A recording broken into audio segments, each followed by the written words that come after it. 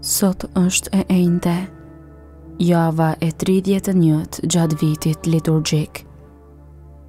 Momenti i shenjtë. Lutja e përditshme.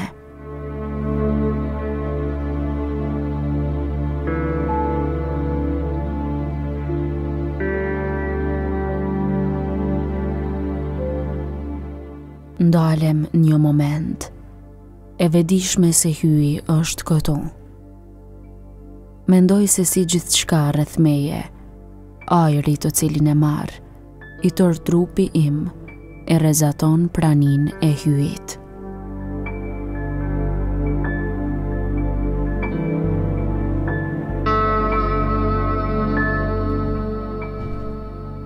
Ejani tek unë, të gjithë ju që jeni të lodhur prej barrës së rëndë, e unë do t'ju çlodh, thotë zoti. Ndërsa hyj në lutje tani, A mund ta ndjej këtë ftesë të Zotit? A mund t'i dëgjoj këto fjalë që më drejtohen? Dhe a e pranoj mirëseardhjen dhe sigurinë që Hyji dëshiron të ma japë?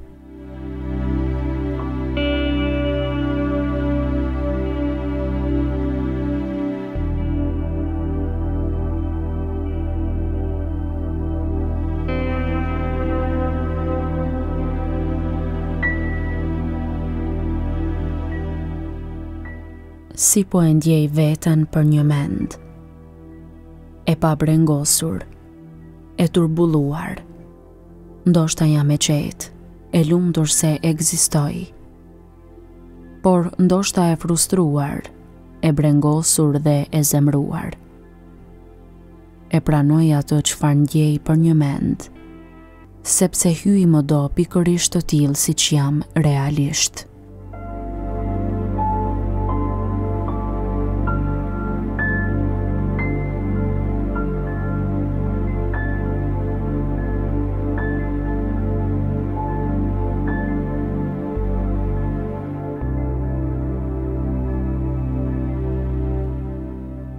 I jap vetes kohë që ta lexoj fjalën e Zotit me vëmendje dhe ndalem në atë fjalë apo ngjarje që më prek, që më flet pikërisht mua.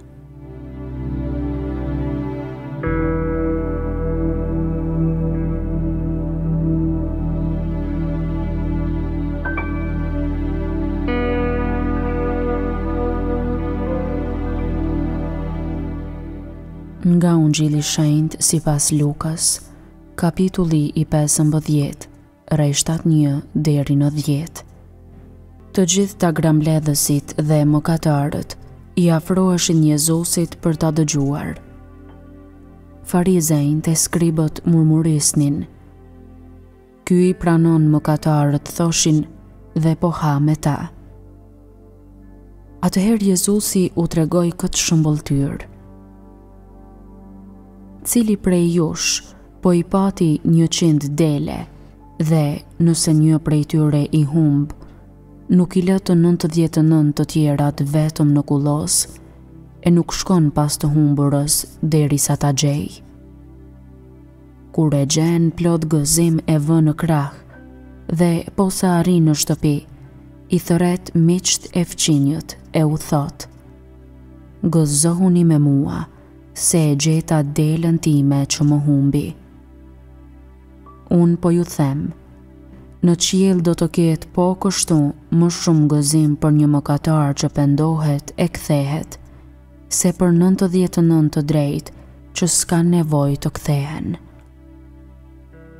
Ose, cila grua që ka dhjetë drahma, e po bëri e i treti njëra, nuk e ndez dritën e nuk e fshin shtëpinë dhe nuk e kërkon me kujdes derisa ta gjejë. Dhe kur e gjen, i bashkon mikeshat dhe fqinjet dhe u thotë, Gëzohuni me mua, se e gjeta drahmën që më pati humbur. Po kështu, unë po ju them, bëhet gëzim në mes të engjëjve të Hyjit për një mëkatar që kthehet.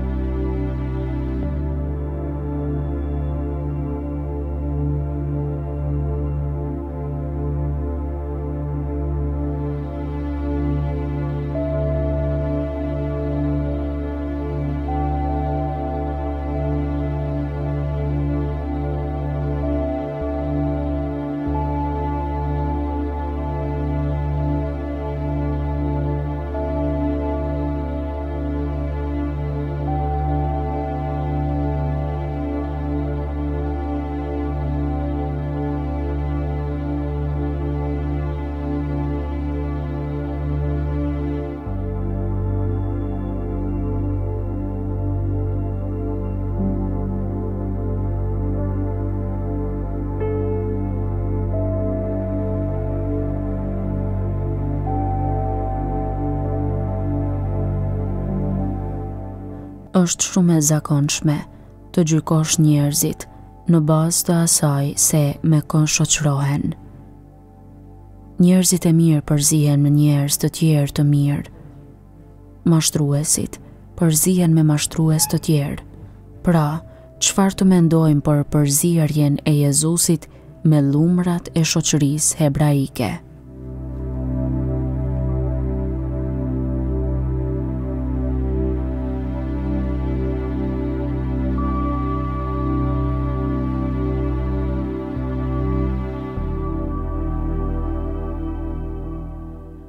A do t'i lije vërtet nëntëdhjetë e nëntë dele në shkretëtirë, për të shkuar pas asaj që është larguar dhe ndodhet në rrugë të gabuar? Çfarë të thotë kjo për qëndrimin që ka Zoti ndaj atyre që bëjnë kthesa të gabuara në jetën e tyre?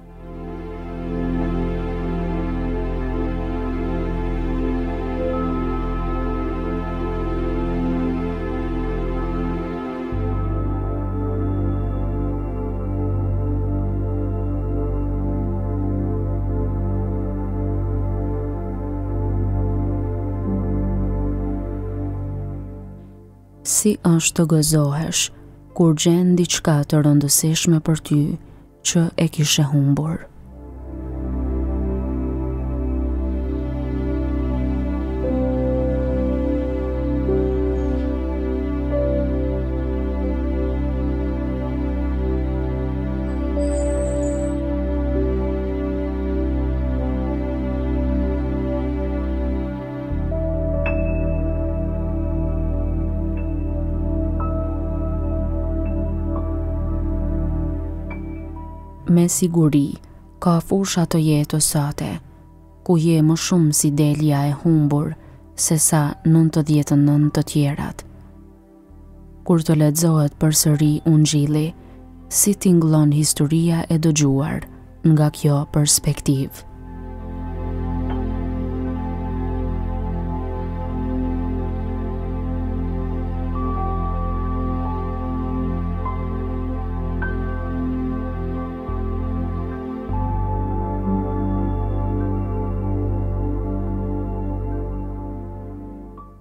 Nga Ungjilli i Shenjtë sipas Lukës, kapitulli i pesëmbëdhjetë, rreshtat një deri në dhjetë.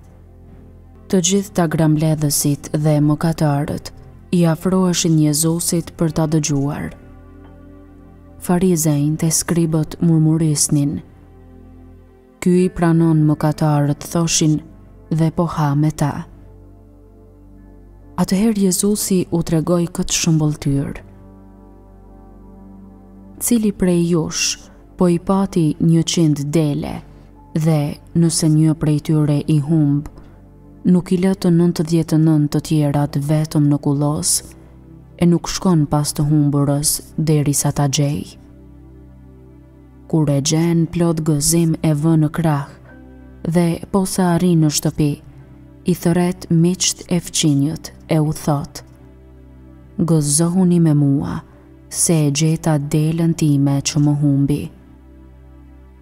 Unë po ju them, në qiel do të ketë po kështu më shumë gëzim për një mëkatar që pendohet e kthehet, se për 99 të drejtë që s'kanë nevojë të kthehen. Ose, cila grua që ka 10 drahma, e po bëri e i treti njëra, nuk e ndez dritën, e nuk e fshin shtëpinë, dhe nuk e kërkon me kujdes derisa ta gjejë. Dhe kur e gjen, i bashkon mikeshat dhe fqinjet dhe u thotë, Gëzohuni me mua, se e gjeta drahmën që më pati humbur. Po kështu, unë po ju them, bëhet gëzim në mes të engjëjve të Hyjit për një mëkatar që kthehet.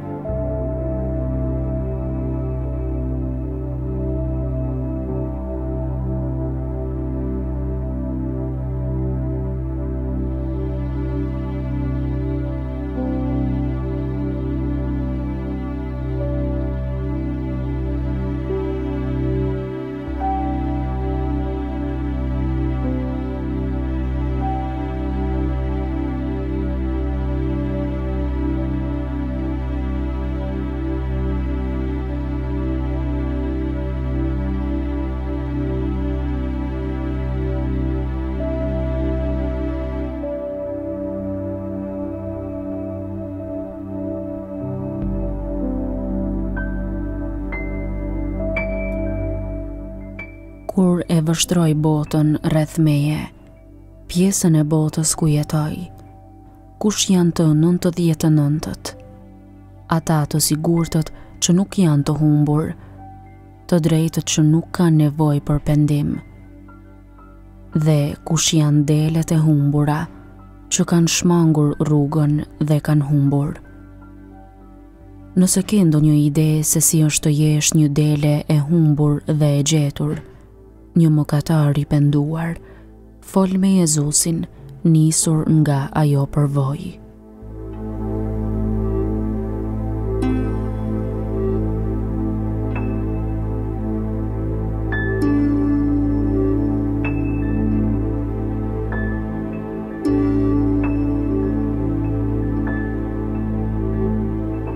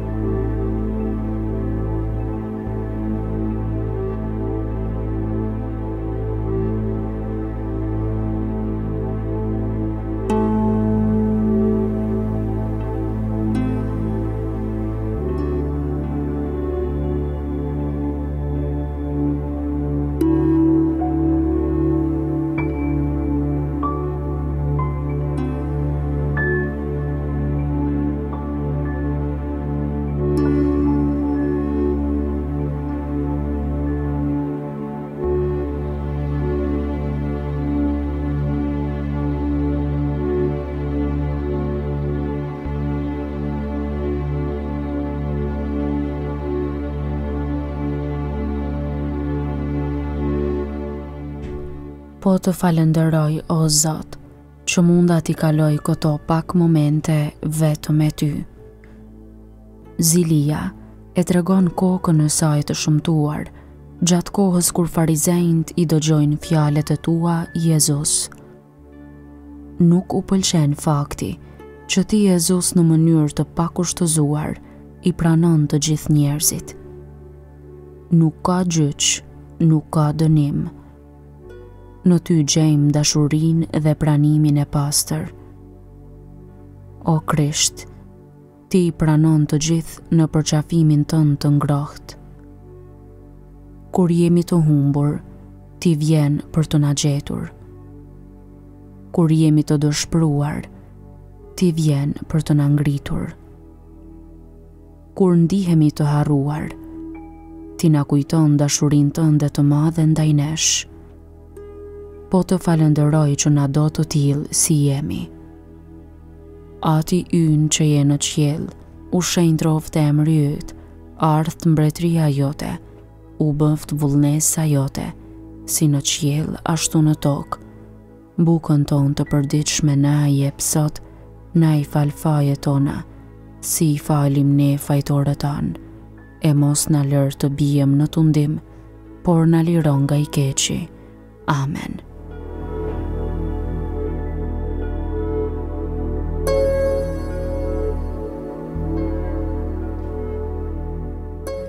Lavdi Atit e Birit e Shpirtit Shenjt, si ka qenë në fillim, ashtu tash e përgjithmonë e jetës,